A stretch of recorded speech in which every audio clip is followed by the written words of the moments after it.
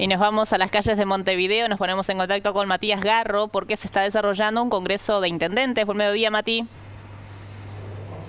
Efectivamente, Lucía, tal como lo decías tú, está sesionando por estas horas el Congreso de Intendentes, que tiene varios temas para tratar. Uno de ellos, analizar un proyecto del senador colorado Adrián Peña, quien, bueno, propone un proyecto para regular los ingresos en los gobiernos departamentales. Este Congreso de Intendentes tiene la particularidad de que va a ser el último del intendente Yamandú Orsi, intendente de Canelones, quien dejará este cargo para dedicarse a la campaña política y pujar en las internas del Frente Amplio por ser el candidato a la presidencia. Estuvimos conversando con él y con respecto a esta última noticia que se dio de que la justicia archivó esa denuncia por presuntas irregularidades en la construcción del Antel Arena. También le consultábamos a Yamandu Orsi respecto a los últimos actos oficialistas que se dieron, concretamente sobre la inauguración del nuevo centro de referencia en Casa Valle, donde dijo que le pareció un acto menemista. Esto decía el jerarca.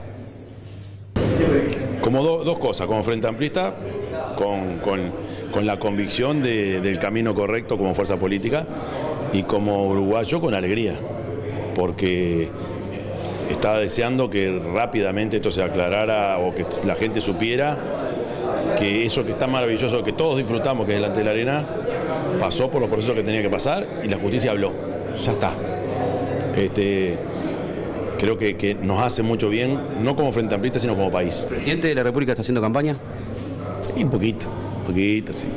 ¿Qué dijo hoy en una nota? ¿Faltó Menem en el acto del lunes? ¿Cómo fue que dijo? No, me sonó un acto muy menemista, por eso.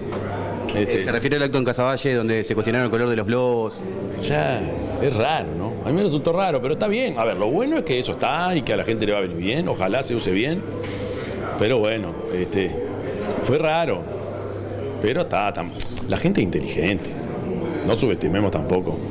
Eh, pero sí hay que mirar que es bueno que exista.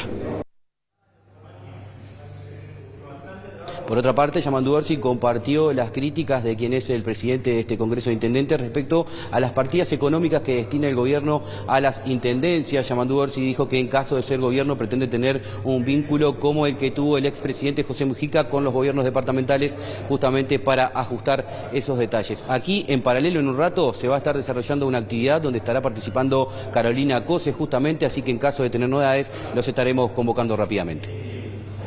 Muchísimas gracias, Matías.